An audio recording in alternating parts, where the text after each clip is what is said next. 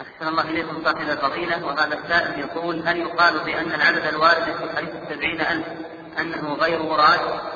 مثل قوله تعالى إن تستغفر لهم سبعين مرة فلن يغفر الله له فإن العدد ها هنا غير مراد. فهل هذا القياس صحيح؟